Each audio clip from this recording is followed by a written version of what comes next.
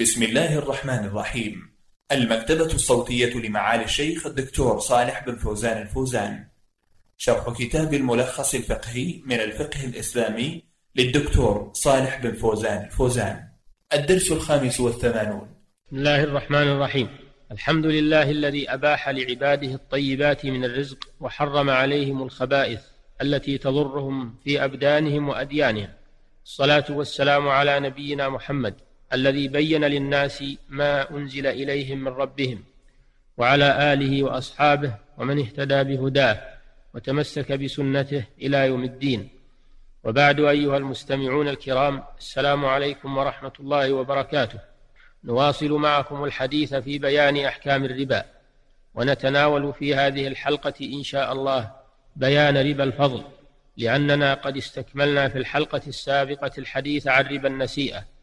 فربا الفضل عبارة عن الزيادة في أحد العوضين وقد نص الشارع على تحريمه في ستة أشياء هي الذهب والفضة والبر والشعير والتمر والملح فإذا بيع أحد هذه الأشياء بجنسه حرم التفاضل بينهما بأن يكون أحدهما أكثر من الآخر قولا واحدا لحديث عبادة بن الصامت رضي الله عنه مرفوعا الذهب بالذهب والفضة بالفضة والبر بالبر والشعير بالشعير والتمر بالتمر والملح بالملح مثلا بمثل يدا بيد. رواه أحمد ومسلم. فدل الحديث على تحريم بيع الذهب بالذهب بجميع أنواعه من مضروب وغيره متفاضلة وعن بيع الفضة بالفضة بجميع أنواعها متفاضلة إلا مثلا بمثل يدا بيد.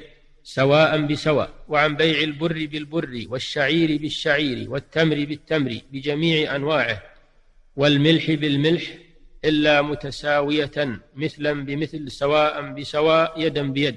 ويقاس على هذه الأشياء الستة ما شاركها في العلة. فيحرم فيه التفاضل عند جمهور أهل العلم إلا أنهم اختلفوا في تحديد العلة والصحيح أن العلة في النقدين الثمنية فيقاس عليهما كل ما جعل أثمانا كالأوراق النقدية المستعملة في هذه الأزمنة فيحرم فيها التفاضل إذا بيع بعضها ببعض مع اتحاد جنسها. والصحيح أيضا أن العلة في بقية الأصناف الستة البر والشعير والتمر والملح هي الكيل أو الوزن مع كونها مطعومة. فيتعدى الحكم إلى ما شاركها في تلك في تلك العلة مما يكال أو يوزن وهو مما يطعم فيحرم فيه ربا التفاضل.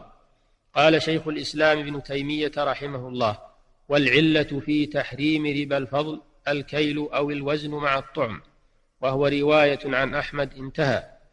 فعلى هذا كل ما شارك هذه الأشياء الستة المنصوص عليها في تحقق العلة فيه بأن يكون مكيلا مطعوما أو موزونا مطعوما أو تحققت فيه علة الثمنية إن كان من النقود فإنه يدخله الربا. فإن انضاف إلى العلة اتحاد الجنس كبيع بر ببر حرم فيه التفاضل والتأجيل. لقوله صلى الله عليه وسلم الذهب بالذهب والفضة بالفضة والبر بالبر والشعير بالشعير والتمر بالتمر والملح بالملح مثلا بمثل يدا بيد. وإن اتحدت العلة مع اختلاف الجنس كالبر بالشعير حرم فيه التأجيل وجاز فيه التفاضل.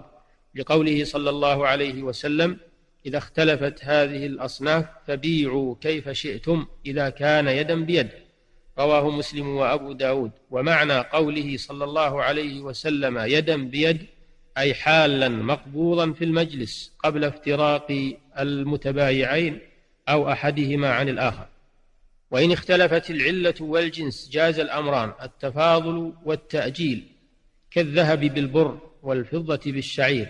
ثم لنعلم أنه لا يجوز بيع مكيل من جنسه إلا كيلا ولا موزون من جنسه إلا وزنا.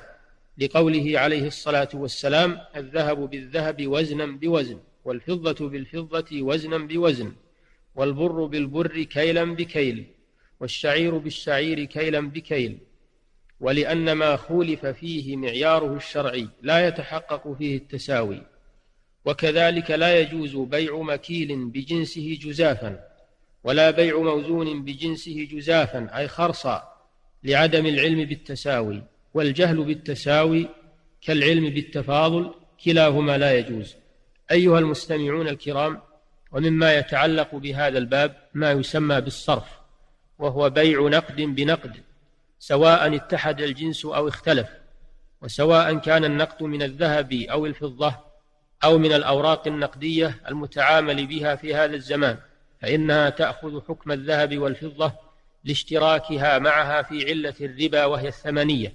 فإذا بيع نقد بجنسه كذهب بذهب أو فضة بفضة أو ورق نقدي بجنسه كدولار بمثله أو دراهم ورقية سعودية بمثلها وجب حينئذ التساوي في المقدار والتقابض في المجلس.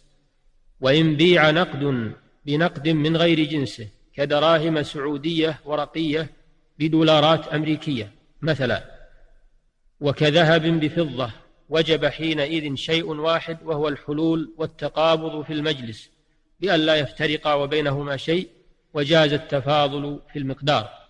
وكذا إذا بيع حلي من الذهب بدراهم فضة. أو بورق النقد وجب الحلول والتقابض في المجلس. وكذا إذا بيع حلي من الفضة بذهب مثلا.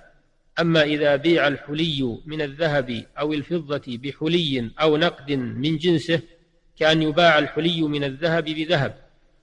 والحلي من الفضة بفضة. وجب الأمران التساوي في الوزن والحلول والتقابض في المجلس.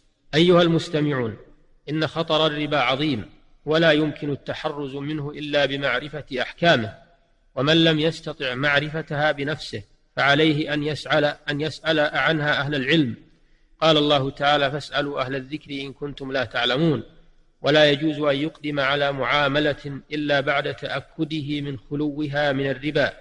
ليسلم بذلك دينه وينجو من عذاب الله الذي توعد به المرابين. ولا يجوز تقليد الناس فيما هم عليه من غير بصيرة خصوصا في وقتنا هذا الذي كثر فيه عدم المبالاة بنوعية المكاسب. قد أخبر النبي صلى الله عليه وسلم أنه في آخر الزمان يكثر استعمال الربا ومن لم يأكله ناله من غباره. نسأل الله لنا العافية والسلامة وإلى الحلقة القادمة بإذن الله تعالى. والسلام عليكم ورحمة الله وبركاته. والحمد لله رب العالمين.